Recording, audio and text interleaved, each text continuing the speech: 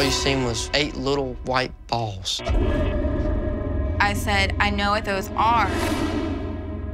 They were magnetic beads. Magnetic beads are a popular office toy marketed to adults as a stress reliever. The x-ray shows that Braylon has swallowed eight. Some research suggests that a young child's instinct to put objects into his or her mouth is a good thing.